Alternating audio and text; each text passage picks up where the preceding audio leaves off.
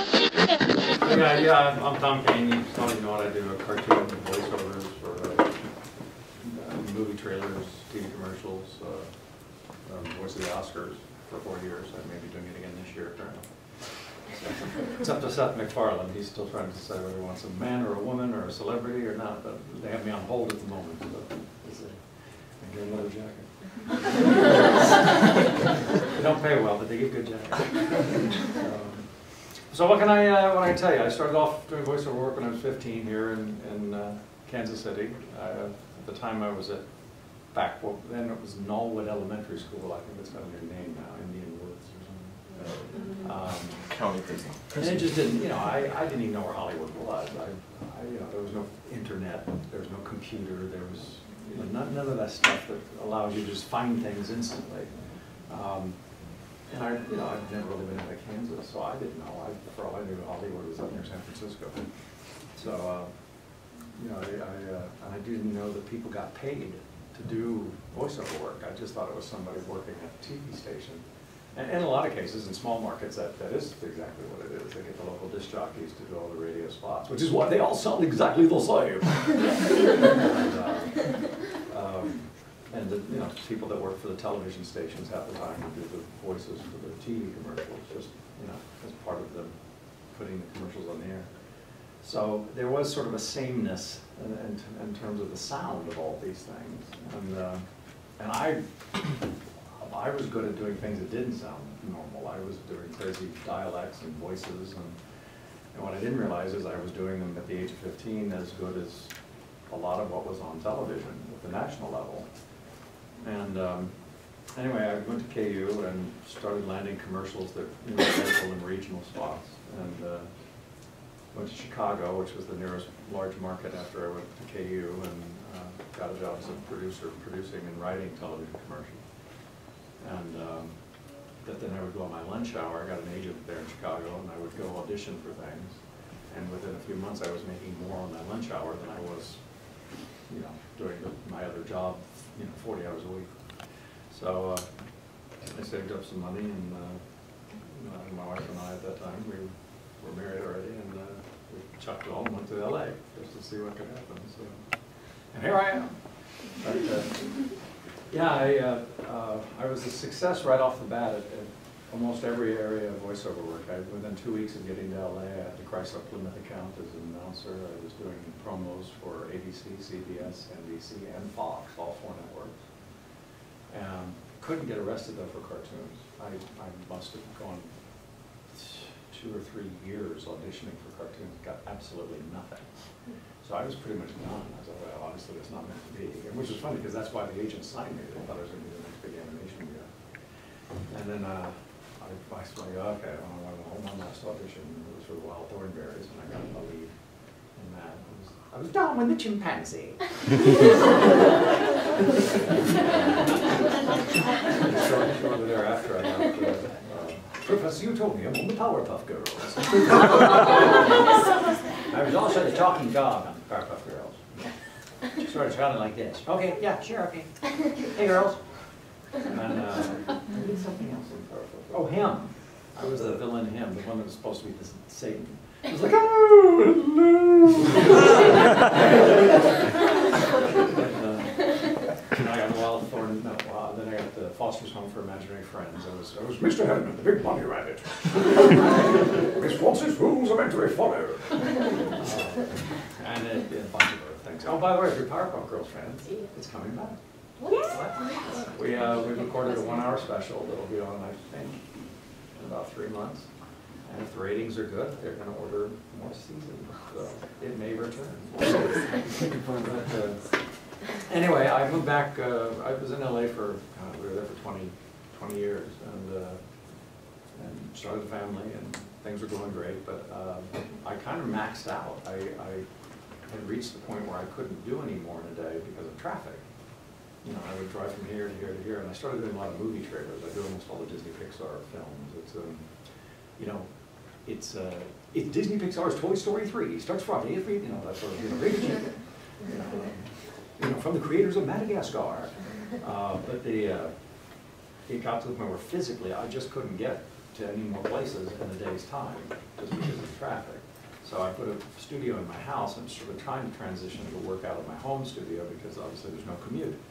And, uh, a lot of places just couldn't wrap their brains around that, the idea that I wouldn't come in. And like, the quality of what I had at home was as good as anything in town. I had it built by some of the best engineers in, in Hollywood. And, um, and everybody had the same equipment where I could talk in my studio, and they recorded it live in their studio with no delay. And it sounds like I'm there. I mean, I'm the voice of Disney Asia currently. And I did a session last night at ten thirty at night, which was about eleven thirty in the afternoon, or in the morning rather, in Singapore tomorrow. Um, So it sounds like I'm there in the studio, so. But a lot of them just really couldn't, yeah, because no one had done that yet. I was kind of the first guy of my, you know, level of success to chuck LA and say, I'm gonna work from someplace else. Deal with it. And uh, fortunately, they did, you know, and uh, some of the producers were like, you know, like, well, we're not gonna have to, we can't work with him anymore, he's not here. And the client would be like, what do you mean? Oh, he's, he works out of his own studio. And they're like, yeah, so, we want him. Well, yeah, but he's not here. So? So anyway, it worked out fine, because, you know, it's hard to tell a client they can't have what they want. So Anyway, I'm actually busier than I've ever been, I'm working more than I ever did in LA. Um, I average anywhere from, on a slow day, three recording sessions and about ten auditions.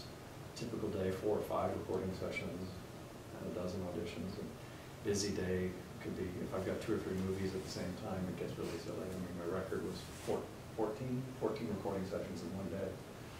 Um, That was lucrative, and I don't want to repeat it very often because I was working for like till 11 o'clock at night. But, um, so anyway, what do you want to know? I'm trying to figure out where I used to sit when I was in this room. It's probably, probably enough of D- my DNA in here, you could swallow it and clone me, I don't know. Yes, yes. Um, how has the industry changed since you started, and what advice would you give to someone who is maybe an aspiring voiceover artist? It, it's changed a lot um, from the technological point of view, um, simply because you can work remotely with no quality difference, you know, uh, than than there would be if you were in the studio. But it's, in a way, that's, that's, that's a, been a bad thing for those of us that are already established, because now, instead of competing against a hundred guys that are in Los Angeles, I'm competing against a hundred guys in Los Angeles and another hundred in New York and another hundred in Chicago and twenty-five in Atlanta. And uh, fortunately, most of them aren't very good, or at least not good enough to. to be impressed. I mean, it's just reality. I mean, if you, you know, when, when I first went to Hollywood, um, they would have a, a national network uh, television spot for, say, like Chevrolet trucks or something, Chevy trucks. And they would go to a casting facility, they would have twenty-five or thirty guys show up for the casting, you know, two or three from each of the ten agencies. That same afternoon, they would have five guys out of that thirty come back for a callback. And either that same day or the next morning, they pick one. Just that simple. Now, a cast for that same part, same commercial, the cast, the casting session goes on for three days, they, they read three hundred people. Their first callback is fifty people. Then they have another one that gets down to ten or fifteen, and then they go down and pick the guy. And the funny part is, they're still ending up with the same guy. Because the reality is, there's only a certain number of people that are absolutely the best at what they do in any profession. There's only one Michael Phelps. There may be five hundred other swimmers that by our standards are freaking awesome, but there's only one Michael Phelps. Um, and, and, and I'm not saying I'm Michael Phelps, but there's definitely, there's, that's true in my profession as well. I mean, I can go to an audition with ten guys that are picked by their agents, or I could go to an audition with a hundred guys, and the same two or three of us are still gonna be the ones they come down to. It's, it's just the way it is. Um, But the, uh, some of that's talent, some of that's experience, both. Um, But the, you know, that being said, every year, there's new people that get into the industry. People that no one's ever heard of, and, you know, they're 18, 19, 20, 21, and they've got some cool twist on some new voices and stuff. And, uh, you know, and again, the technology has made it possible for, because again, like I said, when I was your age, didn't even know where Hollywood was. I never even heard the term voiceover, didn't know what that was. I was saying, you know, you know, the guy that's talking on the commercial, but you don't see him. Not- But the, uh, um, because of the technology, you have at your disposal machines now that will allow you to Put your face on put, put your face in place. Seriously, kind of creepy. But you, you can, uh, you know, you, you can find places that will actually work with you over the internet to, to vet your voices. There's two or three places in Hollywood, the Voicecaster, uh, Talk Shop LA, and one other, that will actually tr- help train you from wherever you are. You know, they'll, they'll, you know, you can talk to each other via Skype, and they can give you, uh, you know, suggestions and work with you on developing a voice or voices or whatever, and put together a demo reel, and you can send samples of something to them, and they'll listen to it, you know, no, it's not great. So, you know, the, the ability to do face-to-face training with someone that lives eighteen hundred miles away is possible now, which it certainly was not when I was your age. So, um, there's a lot of people uh, now all over the country that are trying to get into voiceover work because partly, you know, partly it's, it's innocent. You know, they, they, I, I- love it when someone just kind of glibly reduces my entire thirty-some-year career to a whim. It's like, ah, I've been thinking of getting into voiceover work. Really? I've been thinking of being a neurosurgeon. I've got hands, I can hold a scalpel, what? Got a big drill bit to get into the brain. Know, so it's like, yes, I'm not saying I'm a neurosurgeon, but it's also, you know, when you're at a party with some fifty-year-old guy who is a surgeon, and he says something like that, it's like, either he's had a couple too many drinks, or he really thinks that what I do is just that completely stupid and meaningless and easy. And I'm like, eh, okay, sure, so, because, you know, he can talk, but that is unfortunately what you run into a lot of times, but, uh, uh, I mean, I, you know, it- and you get it from professionals too. I mean, I, I was an example, there's a guy named Mark Cashman that's putting together a book of quotes from famous voiceover people, things that we've been told or asked to do that are just patently ridiculous, but the client doesn't realize how ridiculous they are, so we're like, we're like, he's putting a book together that only other, vo- you know, he's gonna sell probably a hundred copies, like me, just because I can flip them on, there's my quote. Um, The one I contributed was, uh, uh, uh, more than one time, I've had a client uh, look me in the eye and go, what I'm looking for is a dead-on John Cleese, who he's, you know, the Monty Python guy, you know, Silly Walks. I want a dead-on John Cleese, but without the British accent.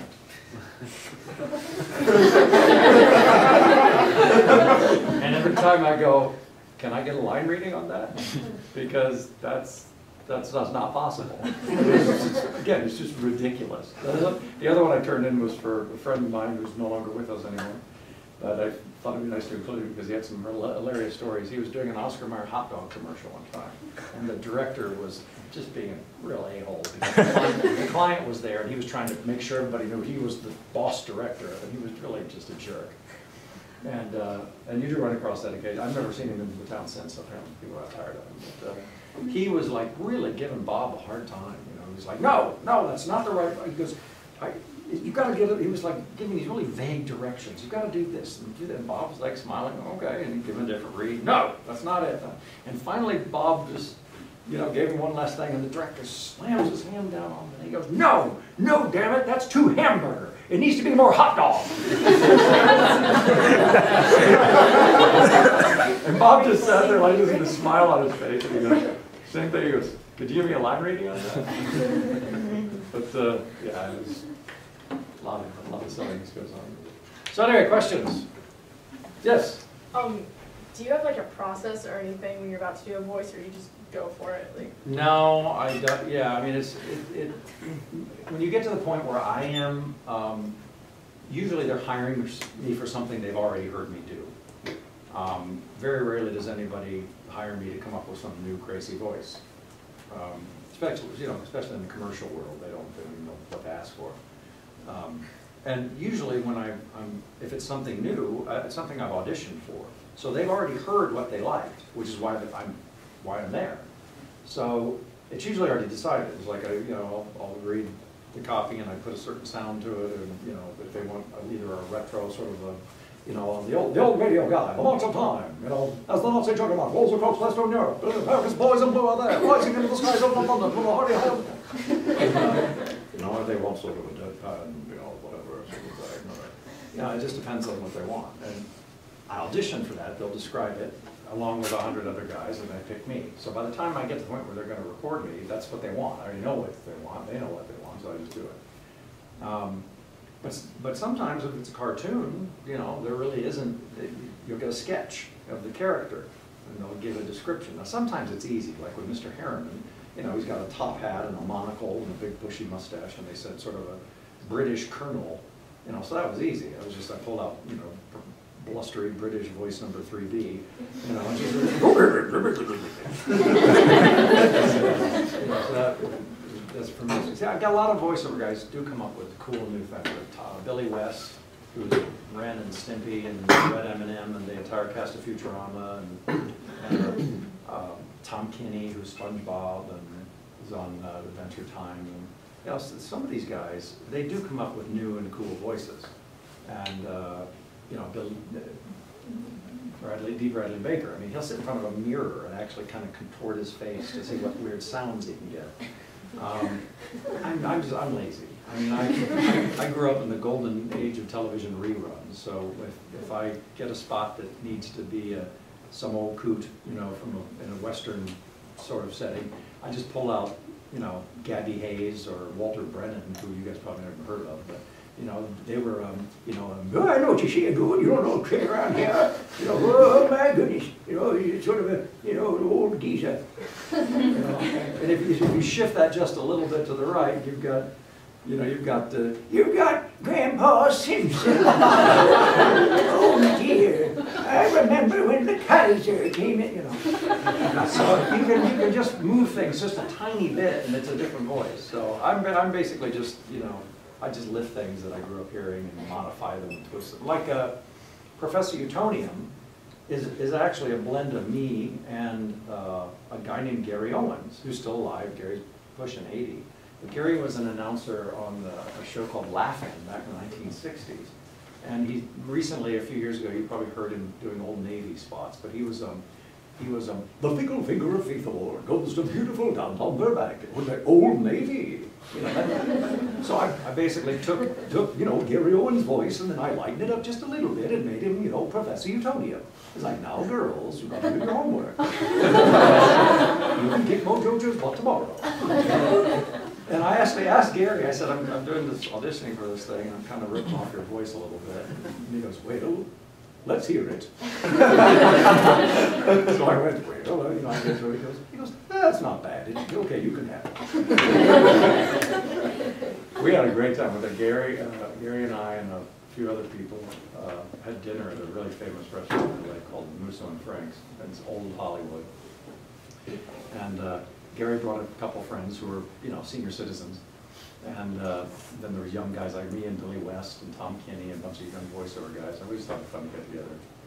And we're sitting there, and this guy that Gary had brought, I'd never, never heard of the guy before. And, uh, and again, this is part of living in Hollywood. I'm like, so what do you do? And he goes, well, I'm pretty retired now, but I was a, uh, a, a music arranger. I'm, gonna, I'm not even sure what that is. What, do you- what does he mean? He goes, well, every artist likes to have their sort of spin on, on the kind of music they play, and so you take a standard piece of music and you kind of tweak it a bit so it will fit, you know, in today's case, Beyonce's voice, or, you know, she won't sing it the same way that, you know, J-Lo would sing it, or, so that was an arranger's job, was to take the same pieces of music and then sort of rearrange the, the phrasing so it would so, sort of match the artist. And I go, oh, I said, they said, have you done any for anybody I, I, I would have heard of? And he goes, uh, oh yeah, probably a couple guys, and he didn't, you know, didn't drop a name. And Gary turned to me a minute later, and goes, yes, you may have heard of one of his clients, Frank Sinatra. He goes, he was Frank Sinatra's arranger. I'm like, no. He goes, yes, and another young man named Elvis Presley. Okay. I'm sitting next to a freaking Hollywood legend. But, uh, anyway, but, yes, questions? Yes. What was your favorite thing that you've done in? Oh, well, there's different kinds of favorite things. My favorite cartoon in terms of uh, the character is, is Star Wars, because I'm, I'm, I'm a Star Wars nerd, and that's, so I'm the voice of Yoda. So, It was a master you have found. Should be by my size, do you?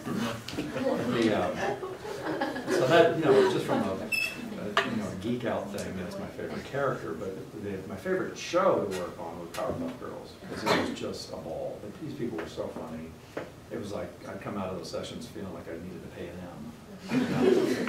Just working with Tom Kenny and E.G. Daily, who, E.G. was uh, Buttercup, she was also uh, Babe the Pig, and uh, Tommy Pickles on Rugrats, and uh, tons of other things, and she, was- that was just always a hoot. Um, Yeah, I was, and you know, again, in terms of other kinds of announcing, uh, doing the Academy Awards is fun. I mean, that's, because it's just such a bizarre, one-of-a-kind thing, you know, there's just nothing quite like the Academy Awards, they're just crazy. I mean, you leave, like, you're not allowed to, uh, you have to sign all this paperwork, you know, to swearing you to secrecy or something. And and if you, if you have a phone now, and you're holding your phone up, if you're doing anything other than this, if you're like, you're holding it out like this, which happened to me one time because I didn't have my glasses on, so I was like, going to look at a photograph, I was all like that, and suddenly there's, I'm flanked by two, three hundred pound, you know, black guys who used to play for the, you know, the, the football team in town, going, one of them goes, give me the phone. Like, why? He goes, give me the phone. Why? And he goes, you were taking pictures. Like, No, I wasn't. He goes, well, I determined that. Yes, sir. They were like looking through me, you know, no picture, because you're not allowed to take any photographs backstage or at all, because they don't want, it's set to get out. And mainly they don't want, because all the celebrities show up with no makeup on. Oh. So the women especially are freaked out because, you know, they come from the gym and they got the, you know, sweatpants and a ponytail and they're practicing, they're opening the envelope and they're terrified of someone taking a picture of them with no makeup on and it's on the cover of the National Enquirer about, you know, who stars without makeup. Some of them, I don't even recognize, swear to God. You know, these, the people that do these makeup jobs on, on especially the women, they're like two thousand dollar a day makeup people. They really do work magic. There, there were some celebs, they'll get up there and I'm, I'm just going, man, who's that? And the- my script supervisor's like, who's that? That's Naomi Watts. I'm like, really? Wow. Looks just like every other girl. You know, and that is true. I, uh, I, when I, give a, when I give a keynote address to people, one of the things I have with a computer and a projector is that I do run through a whole bunch of things, because one of the things I have to tell, especially the girls, you know, you guys, unfortunately, you, you see these people on camera and on interviews, and you idolize the way they look and the way they sound, because they're celebrities, and therefore they must somehow have some opinion that is of some value.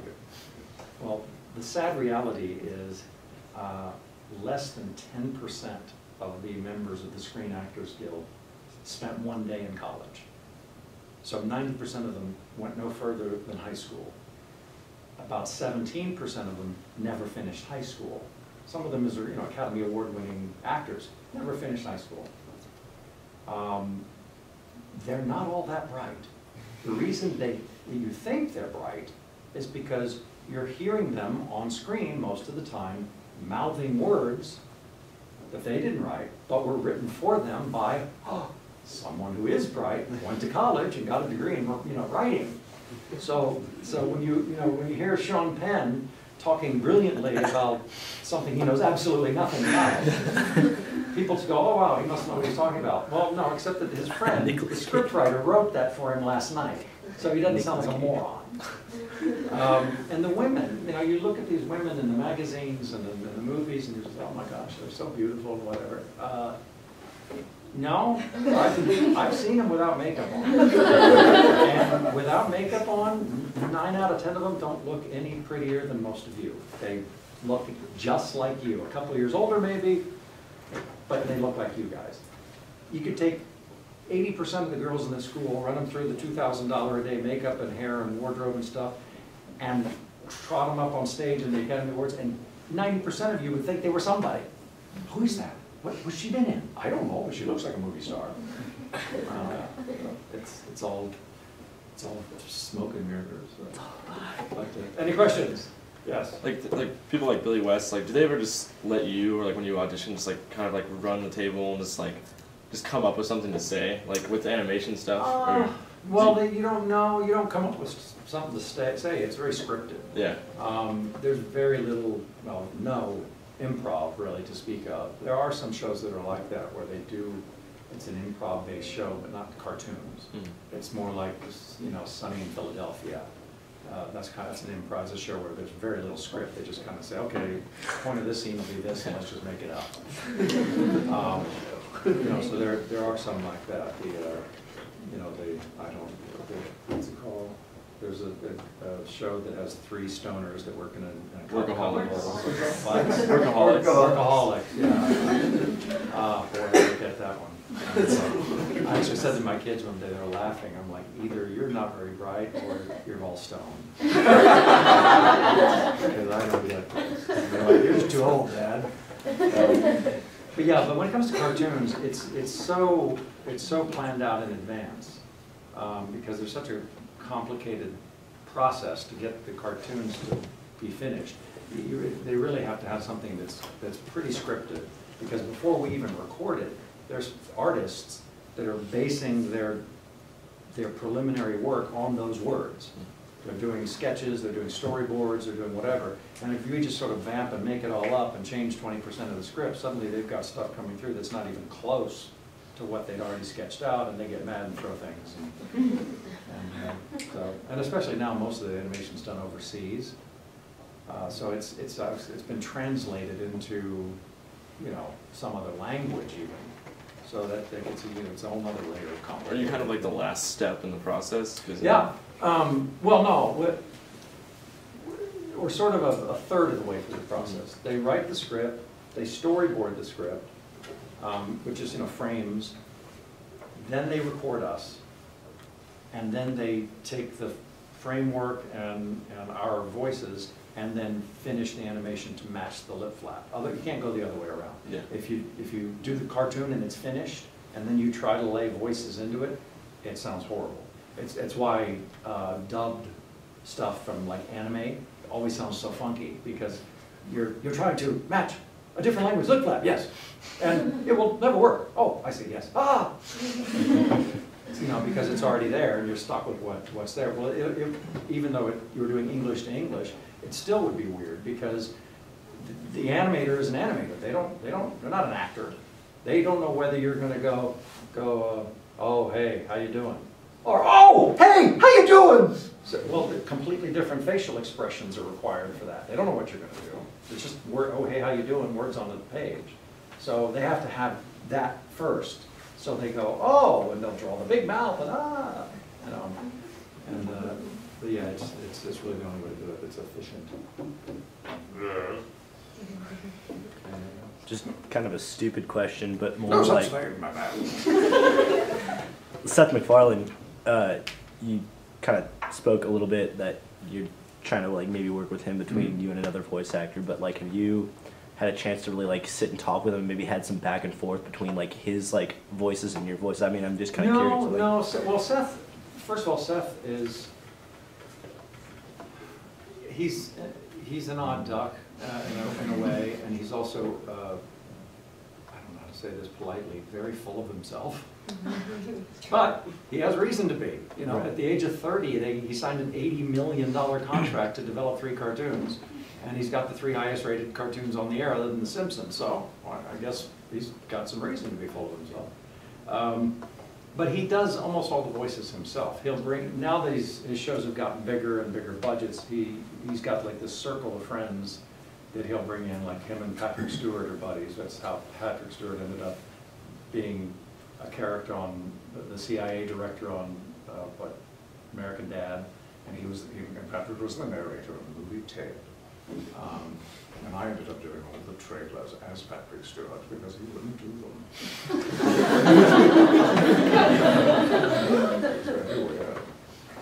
Um, But the, um, uh, so, you know, he's got some celebrities that he'll bring in, you know, Mark Wahlberg and Cameron Blood, so there really isn't, unless you're part of his little clique, you know, he doesn't really hire you, and it doesn't, it doesn't matter if they're a big voice you, I mean, he doesn't hire Billy West, he doesn't hire Tom Kenny, he doesn't hire Jesse, I mean, he hires basically himself.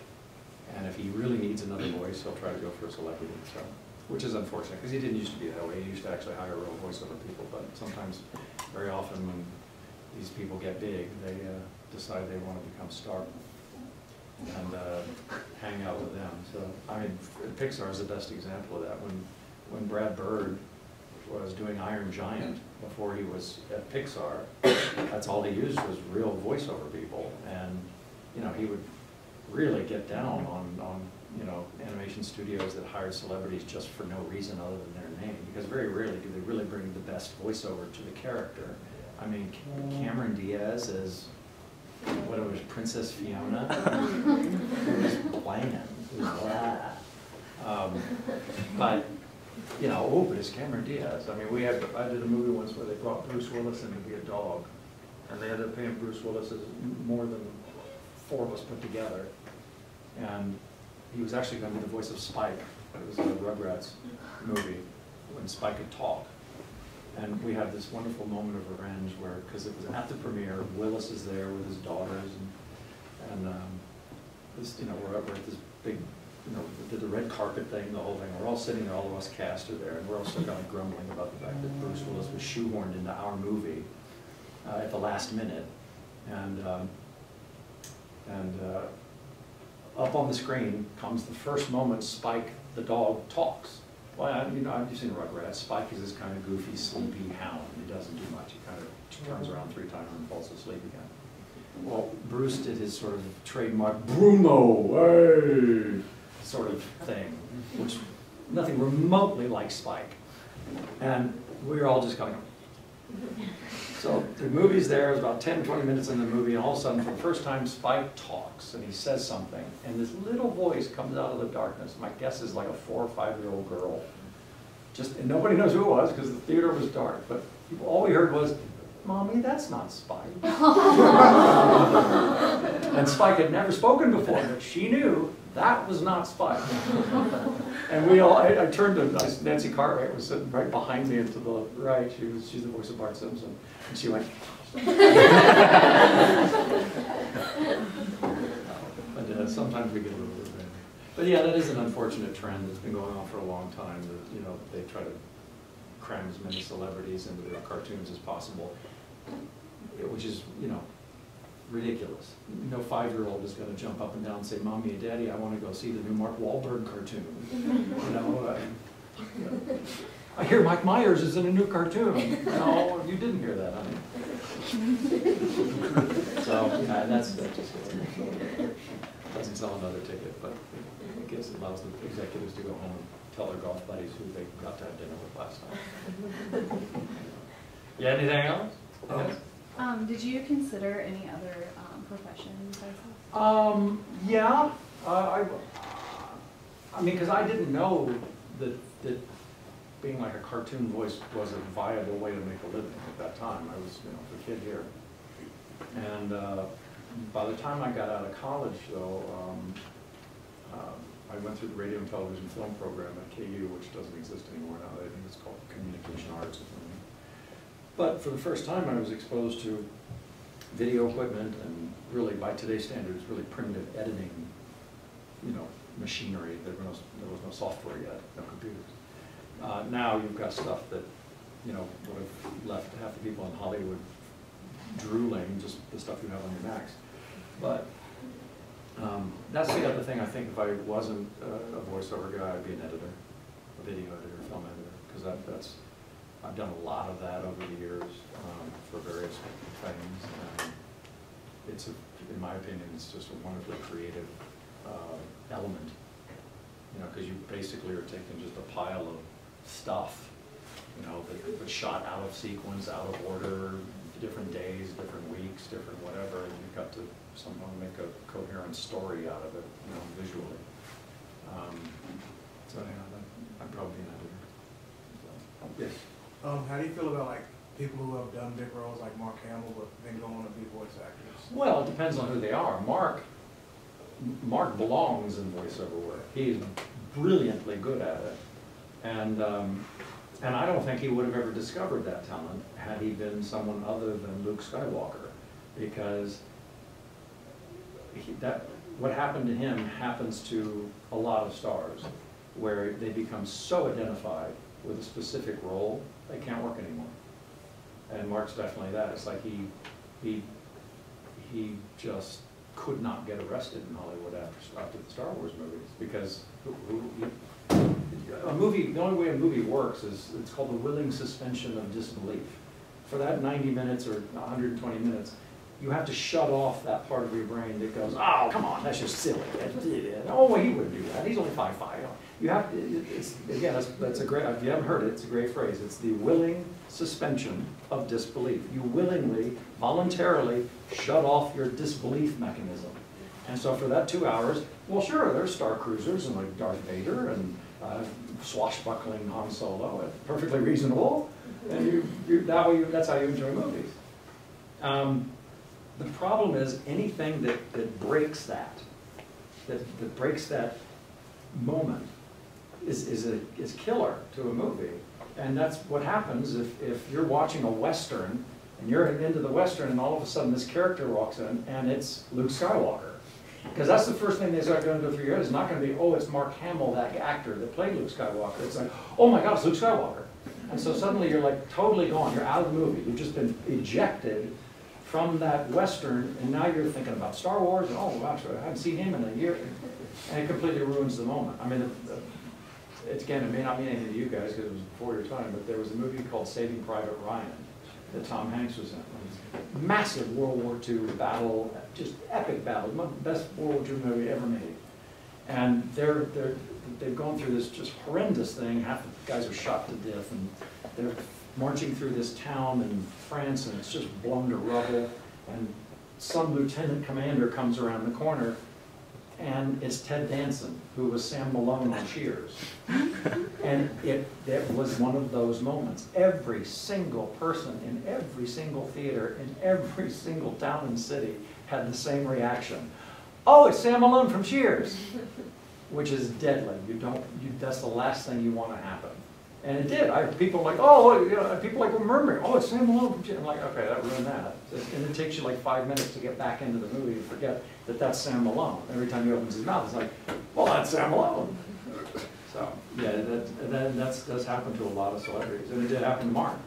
He started getting a voiceover work because he was broke, you know, and he, they were like, and so he, you know, they, in the cartoon world, they were like, heck yeah, he's a celebrity, you know, he'll do it. And of course, he came up with some fantastic stuff. I mean, the- his Joker is just brilliant. His Joker was so good that uh, when they were casting for uh, The Dark Knight, which ultimately gave the Joker to Heath Ledger, it was actually down to three guys, and Mark Hamill was one of the three. They were actually considering using Mark as the Joker on in Batman because the voice was so amazing to do it. So, but yeah, there are a few few celebs that belong in voiceover. You know, I mean, most of them they do their voice and that's all they do. And like, okay, you sound like Bruce Willis every time you talk. So, yeah. Have you done any like video game like voiceovers or whatever? Oh, I feel like that industry's kind of like a hundred of them. I don't know. You'd have to look at my IMDb pages. pages I've seen them. weak voices in that too. I. I generally, I've actually kind of, on purpose, kind of gotten out of that Mm. because I was, uh, as I got busier and busier doing other things, I, it just, it's too hard on your throat. Like, from, like now, the only video games I'll do is, uh, are the Star Wars properties. Um, And, uh, I'll do, I'll do some for Warner Brothers. Um, I'm, I'm Gandalf for all the, uh, all the Lord of the Rings and the Hobbit games. Because again, there's, there's not much screaming, yelling, or dying. That's- And that's what our agents will ask. like, Gandalf we'd like- never. Yeah, we'd like them to do whatever, and the first thing they say is, how much screaming, yelling, and dying is there? And if there's a lot of screaming, yelling, and dying, we'll go, no, we'll pass. Because again, it- you know, you spend three hours doing, you know, that. You know, the rest of the afternoon, you kind of sound like this. But yeah, I do him, Gandalf is, you shall not pass. Most of her. That's, it. I- yeah, but I, I pick and choose what games I do now. If it's a big thing, I get involved. yeah. Are you a one take voice actor? Uh, sometimes. Um, You know, but it- it's, it's, it may be one take to them, but usually what they don't understand is I've already read it five or ten times. I auditioned for it, I read it two or three times and I auditioned for it. The morning of the session, I get it in my email and I kind of look over it a couple times and kind of run through it for timing so that, you know, when they finally connect up with my studio, because this, happens a lot, I'll get, uh, I'll get a piece of copy that twenty people have read. It's been written by a copywriter and approved by the creative director, and the clients have read it. And Not one person out of the entire process read it out loud and timed it. They read it in their head, which, you know, makes sense, except what most people don't realize is when you read something in silently in your head, you read it twenty to twenty-five percent faster than if you read it out loud. So people are reading in their head, and they're looking at the clock, and, oh, 30 seconds is perfect. Suddenly I'm reading it, and it comes out 40 seconds. And they're like, well, what happened? We timed this, it was 30 seconds. I go, did you read it out loud? Well, no, that's what happened. Like, read it out loud, and suddenly they do, and it's 38 seconds. Oh, okay. So, yeah, always read, always read your scripts out loud, because A, you'll, you'll, re- it'll, it's also harder to to stomach bad writing if you hear it coming out of the mouth versus in your head. Because in your head, when you're reading bad writing, your head kind of makes it better. It fixes it. It kind of puts an inflection on it that makes it, you know, because your brain wants to try to make whatever piece of garbage you're reading into something worth reading. So you kind of automatically do adjust things in your brain. When you read them out loud and you're actually hearing the words, you know, like, oh, oh, that's cheesy. No one would say that. You know, so, yeah, always, I mean, people think you're nuts, but I, that's part of why I've gotten where I am. I talk to myself all the time. There are people who think I'm just raving nuts because, uh, you know, I'd be, well, I'm, I do it today. I'll go to the grocery store this afternoon. If I'm walking down the cereal aisle, I'll go, Frosted Flakes, they're great. Like many times, they're magically delicious. Get some A sandwich just isn't a sandwich without the tangy zip of Miracle Whip Graham salad dressing. Yeah, So, I mean, I do that all the time because it's, it's my way of practicing, you know, so. You know, some mothers are grabbing their children. He's a crazy man, I'm not for it. But, uh, but I, I have the last laugh. Did you do like the Pepperidge Farms too? Like the. I did actually, but every weekend, a couple dozen Kansas City family, you know. Yeah, it was nineteen fifty-three, Pepperidge Farms. I've done that before. Uh, I'm trying to think done anything recently that, that,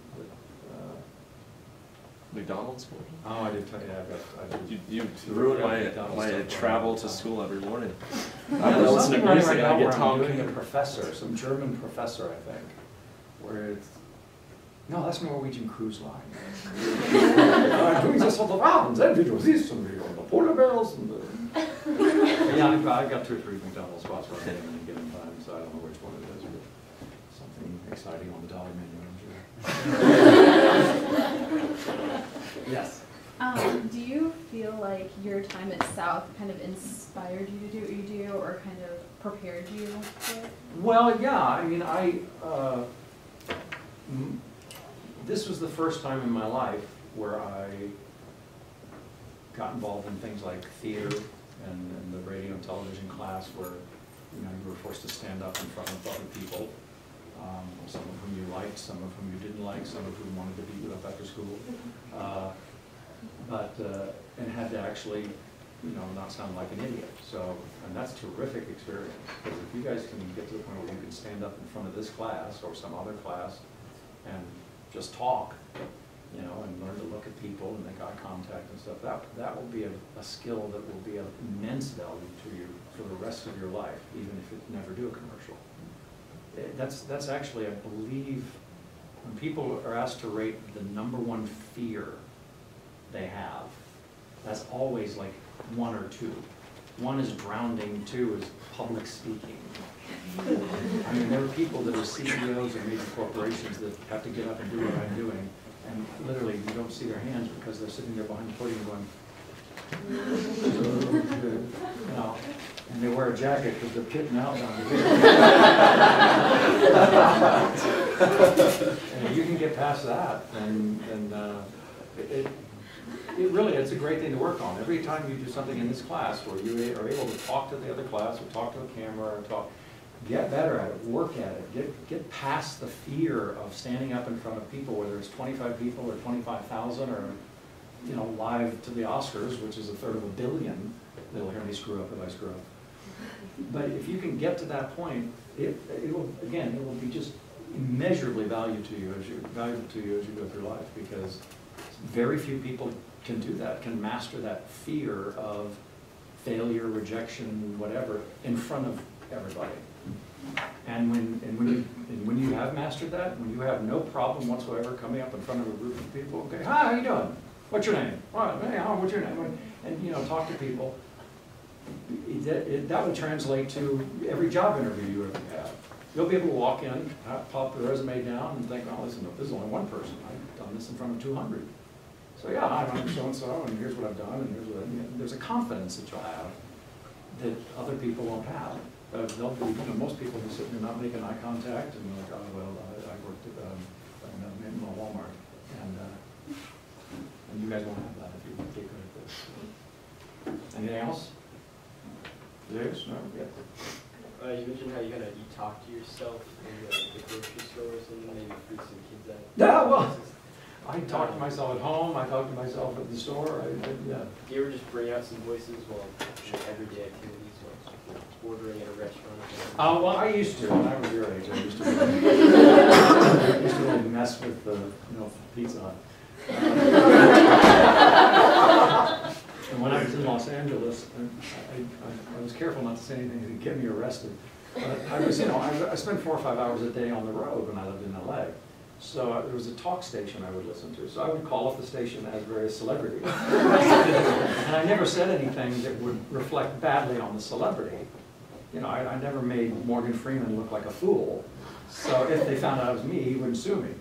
But, but the simple fact that they thought it was Morgan Freeman calling in on the- whatever the topic was, suddenly, boom, you're at the front of the line. So I'd be sitting there driving around and get the, I'd like, they're like, ah, you know, I want, want to yell at whoever was doing whatever they're thinking. And so I thought, "Ah, it's just me calling up, they don't care. But if it's, you know, Patrick Stewart or Morgan Freeman or, you know, Sean Connery or something, suddenly, suddenly I'm on the air.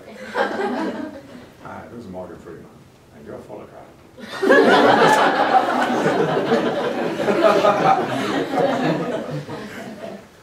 it's a, uh, that was a lot of fun. I only order pizza in a funny voice once, though, I'll do it.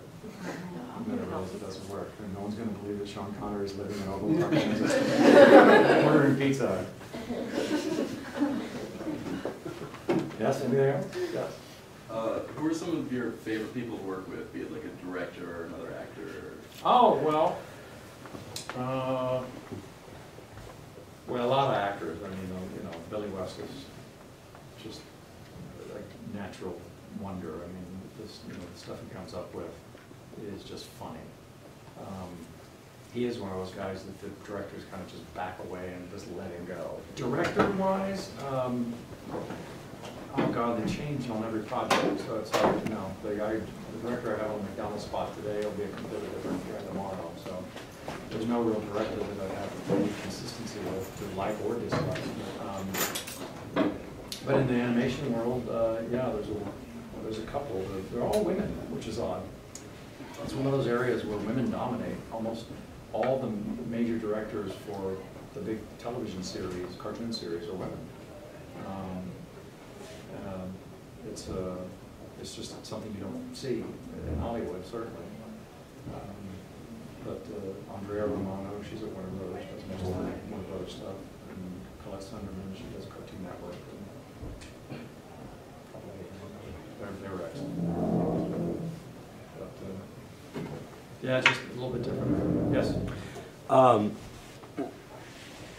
I guess like I guess cartoons in the past they would like hire. Um, we're not trying to say it's like a time difference at all, but uh, they would hire voice actors to do you know like uh, kids voices like uh, Bart Simpson. Uh, but like, have you ever had experience working with like actual like young people, young children in that? Um, most of the time, it doesn't work out so well.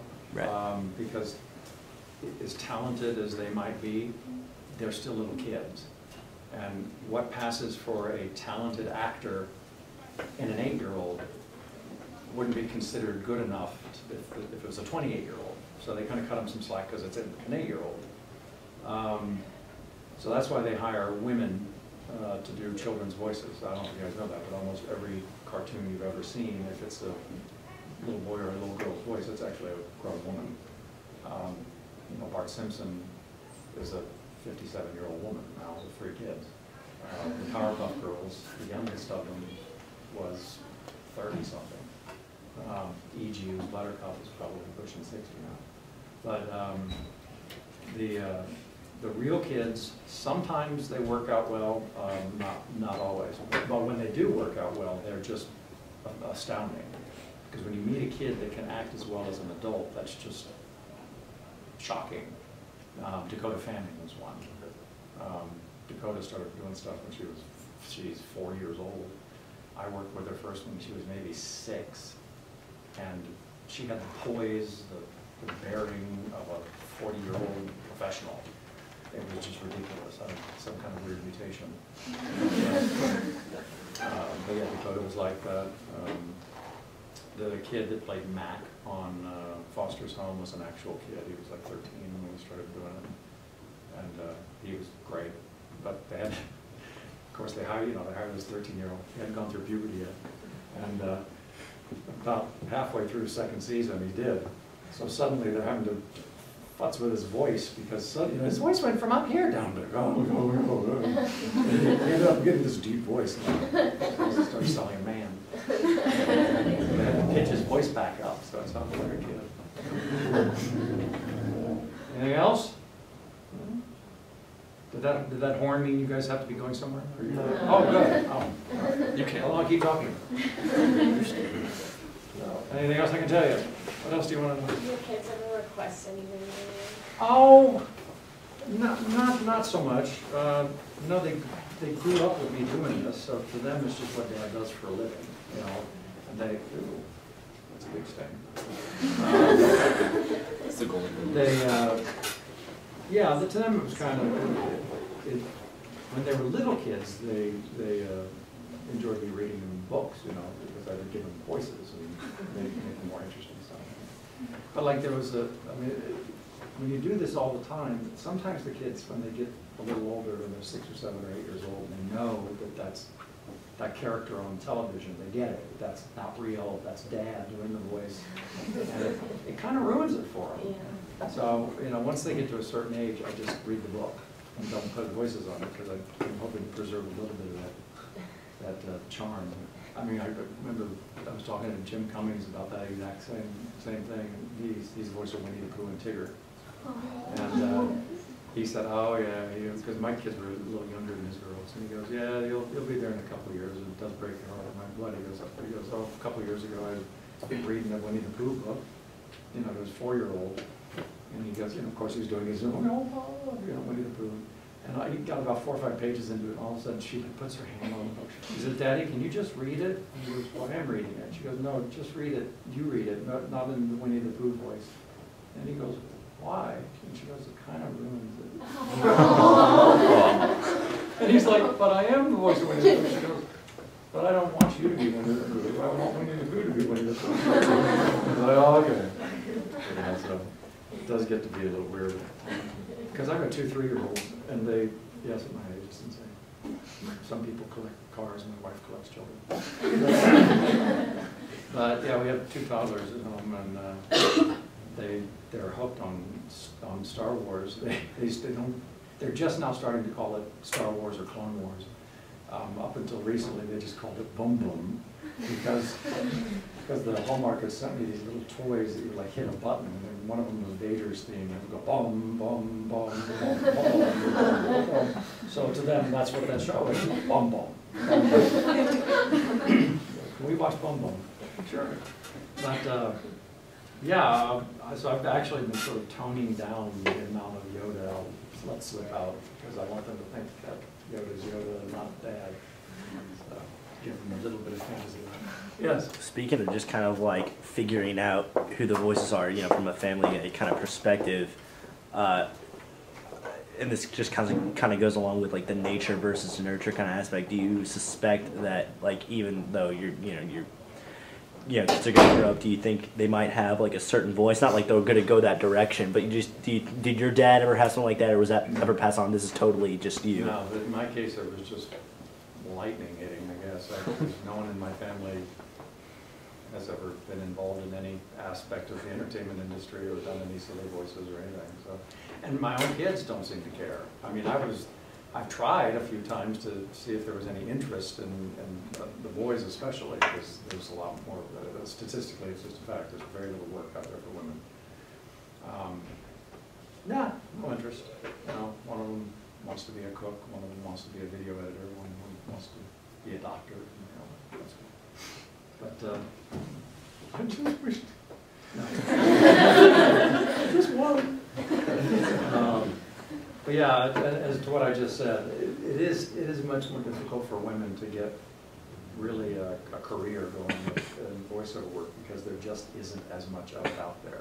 Um, the Screen Actors Guild keeps track of commercials by, you know, ethnicity and race and sex and all this stuff, so they can kind of get an idea of who's working. And, um, um, I think it was probably two thousand five or six was the first time women broke ten percent of the voiceover work. So just by being a woman, you're limited to, well, ten percent of what's out there. And uh, because there's, except for cartoons, where there's more women jobs, because they're playing kids. So they play the women, but they also get to do the kid roles. But, um, but generally, uh, you know, like all the movie trailers, hundred percent done by men. Um, Most of the promo work for the networks, you know, you know, tonight on ABC, at Miami Central, and almost probably eighty percent of that, ninety percent of that is, is men. Um, And it's not that the directors are being sexist, because half the time the producers that are doing this are women. I mean, on the, on the other side of the microphone, on the production side, women are very well represented, if not the majority.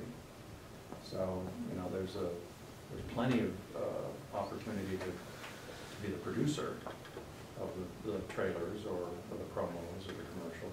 If you're a man or a woman, that doesn't seem to make any difference anymore. But in terms of the performers, for whatever reason, just, you know, they focus group this audience, they test it every once in a while, they'll do a trailer with a woman, they'll do a trailer with a man.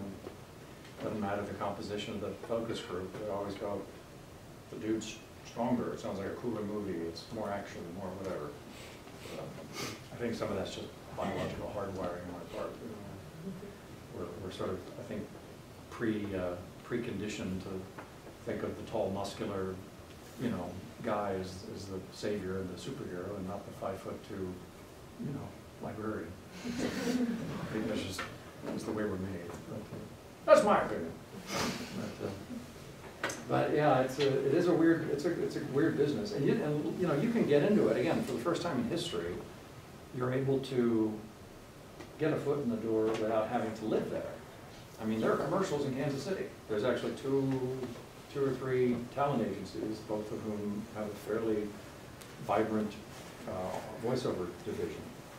Um, Now, you know, if you're in a smaller market like Kansas City or Omaha or Cleveland or something like that, most of the work that's done will be uh, commercials and uh, like what's called non-broadcast stuff, which is like corporate, you know, presentations that Sprint, you know, I mean, Sprint has a whole audiovisual department over there that makes videos to show their corporation, you know, to various things. But um, most of those jobs don't pay great. They're, they're, they're non-union, which is, again, in the world of performing, you want to get to the point where the jobs uh, are, um, are union, meaning they're uh, part of the Screen Actors Guild or, or AFTRA, and those are the two big performers unions that have now since merged.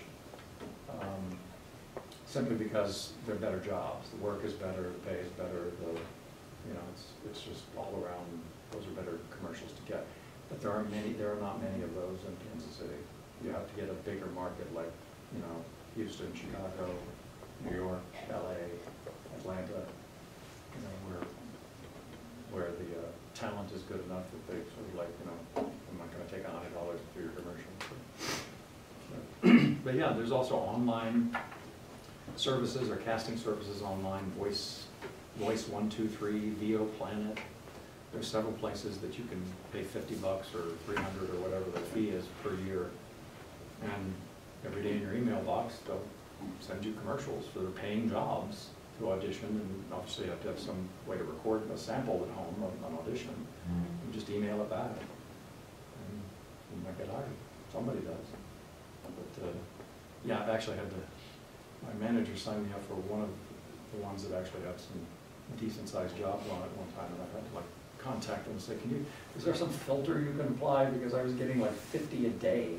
You know, I'm like, "Well, I I don't, you know, don't, you don't need to send me the twenty-five dollar voiceover jobs, because I just don't have time for those. Anything else? Yes? What's your answering machine like?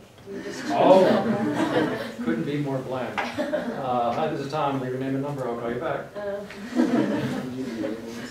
I, I, as someone who has called many, many people, I, it drives me nuts when someone tries to put, you know, war and peace on their phone answering machine. Just say, hi, I'm not here to talk. But, but I do, like my kids, they ask me to do weird things, like my wife, my wife's, iPhone messages uh, Professor Utonium. My daughter Sam's is, uh, Morgan Freeman is in the March of the Penguin.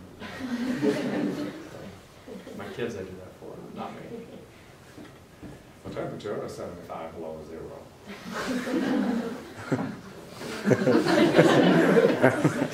I Actually fooled his son once. Uh, uh, I was doing a a Robot Chicken parody of, of the March of the Penguins for uh, Seth Green.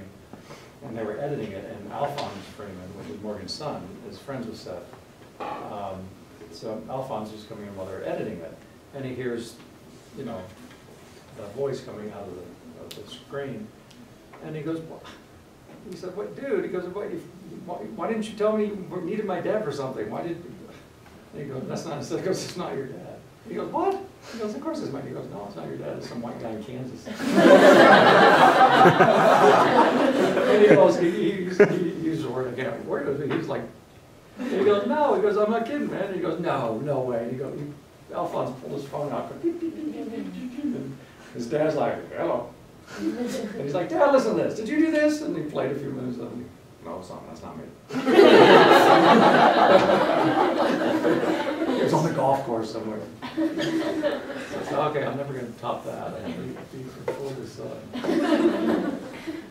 but, uh, Yeah, but that can get you in trouble sometimes too. I was, um, I was announcing the AFI Lifetime Achievement Award for Sean Connery. And um, he was, again, I don't know if you who Sean Connery he was James Bond for a lot of films. He was the dragon The Last Dragon. uh, you know, he's an old Scotsman and he sounds like this now. His voice is getting a little raspy. And um, the whole evening, every single person that got up to talk would try to do a Sean Connery impersonation. And after about the fifteenth person that was trying to do a really bad Sean Connery impersonation, he was kind of going, oh, yeah, great. And uh, the only one that came close was Mike Myers, who did a fairly decent one. So anyway, fast forward, we're, we're at Wolfgang Puck's for the after party, and I'm standing at the bar, and there's some guy, I don't know, right here, and up walks Sean to the bar. And the, the the bartenderess was probably twenty-two years old, twenty-three. She's frantically making drinks and doing stuff. And she comes up um, to the guy, the strange guy, and she goes, okay, you're next, what do you want? And he goes, oh, no, please, you know, take, take him, it's his party. And she just looked up and like, no, you're next, what do you want? And I, we all realized she doesn't know who this is. And uh, the guy says, okay, I'll take a, you know, whatever, Heineken.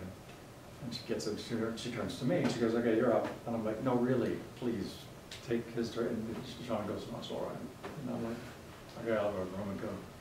And uh, finally, she turns to Sean Connery, who's the reason that, you know, Steven Spielberg's there, George Lucas, and Harrison Ford, and, you know. Um, and he goes, uh, he, he, said, "Oh, I'll have a of some scotch, you know, neat, is no ice. And the guy next to him goes, oh, aren't you gonna get a vodka martini shaken, not stirred, which is James Bond's line. It gets about that far, and, and, and, uh, and Sean goes, oh, bloody hell, don't say that, because if I had a dollar for every time someone said that, I'd be richer than I am. And, uh, the guy's like, oh, okay, whatever. And he turns to me and he goes, so, so he goes, so what do you do at the shindig? And I said, uh, well, I was the announcer for the show, I was just the voice you heard coming in. He goes, oh, yeah, that's not bad. I said, thank you. I said, yeah, I could tell you were getting a little, you know, peeved with all the people trying to do their best Sean Connery impersonation. He goes- oh, you have no idea. He goes, doesn't matter where I go in the world, who it is, everyone thinks they can do bloody me. And uh, I said, well, I've actually been hired to do your voice a couple times. He goes, for what? And I said, the League of Extraordinary Gentlemen. It was, and he goes, oh, that piece of shit. Because apparently he got in a fight with the director, literally, a fight. And once that happened, um, he finished the movie and walked away. He would not pr- promote it, he wouldn't do any ADR, wouldn't fix any lines, so they ended up hiring me to fix some of the bad lines in the movie. Because Sean was like, you know, is my contract done? I'm out of here. He. So anyway, I'm sitting there, it's a loud bar, everything's thumping music stuff, he goes, all right, let's hear it. I'm like, what? He goes, come on. He goes, every wanker and his brother in here has been doing my voice. And I'm like, oh, no, no, no, I said, I'm hoarse, I can't. He goes, oh, come on. So I lean forward in his ear and I go, I go, the league is set, the game is on. And he leans back, and this is, I love this, he leans back and he goes, it's not bad, I've heard better. I'm like, okay, well, it's never, never, never a problem being brought down there. But, uh, I told that the next day, I was in my, my, uh, in the lobby of my agency in Los Angeles, and uh, Sean's son Jason was there. And I told him, I said, I said, and the- he said- everyone started laughing, he goes, yeah, that- that sounds like that. Anyway. So yes, any other questions? Yes? Do you ever get over cringing at the sound of your own voice, or do you? Yeah, you do, actually. Uh, it, it takes a long time, because when you hear yourself play back, of course, it doesn't sound at all like it sounds in your head. But, you know, I wear headphones, and I have for thirty-some years, and I, I've gotten to the point where I, I don't hear my actual voice anymore in my head. I, I know now what it sounds like, as weird as it sounds, uh, so talking to you right now, I'm not really paying attention to, to what it sounds like in my head. I'm kind of hearing almost a ghost of it as what it sounds like through a pair of headphones, so that just takes time. But yeah, you do get that eventually where you don't, you don't really pay attention to what it sounds like you're doing. But, uh, but yeah, it's, it is completely different because you, you know, you've got a resonance and stuff that, you know, you're, you know, all your hearing mechanism is surrounded by fluid. And so it's just vibrating directly up through this fluid. Um, And fluid is a far better conductor of sound than air. People don't realize that, but everybody thinks that when you're, a woman's pregnant, that the baby, like, it sounds weird, like the baby can't hear anything. Oh, no, the baby can hear absolutely everything with crystal clarity, because, because the baby has never been exposed to an atmosphere. So there is unbroken liquid from the mother's abdomen, all the way through the, the uterus, the liquid's in there, and all the way to the eardrum. There's not a single bubble in there. And, and when you have solid liquid going in there, it's a perfect transmitter of sound. So if, if you've got a pregnant woman that's, you know, got a developing baby and you're just having a conversation, that baby is hearing it with every bit of the clarity you are. It just, it's, it's not, oh, oh, oh, oh, it's, it sounds perfect. So it's, it's, you know, sometimes when people say, oh, you know, oh, he's reacting to his dad's voice or he likes a certain piece of music, probably is. Yes, yeah. Is there any uh, particular voice that's just been difficult? Well, uh, the one that I get sort of corrected most uh, by the director is uh, Herriman from Foster's Home. They particularly liked a sort of blustery sound. I would, sort of like process, sort of that, you know, rules are meant to be followed. They liked the sort of that, you know, that- I would add to it. And as time would go through the session, I would start to lose that until he was just like, Francis, you know, I kind of lost that. And so she would be like, now, you've lost the blah, blah, blah. And, uh, so I'll, like, you know, I'd go back and look up a few lines. We, we were watching Hotel Transylvania, and I was cracking up every time Dracula said, blah, these weekly blah, blah, blah, blah, blah. I don't do blah, blah, blah, blah, blah. Well, I'm thinking of, that's what my problem is, I do do blah, blah, blah. I forget to. Yes. Anything else? Other secrets, magic? Well, uh, like I said, if, if, uh, you know, it is something you guys want to pursue, there, there are uh, resources online now that just never, I never even imagined ten years ago, much less thirty, which is when I was here. Oh my God. But, uh, But yeah, it, uh, you know, it is possible, like I said, every year somebody gets into it. you know. The geezers drop off, they back in, someone's got to replace them. Anything else? No? No? All right. Well, thank you guys. Appreciate you. Good on you. Thanks so much.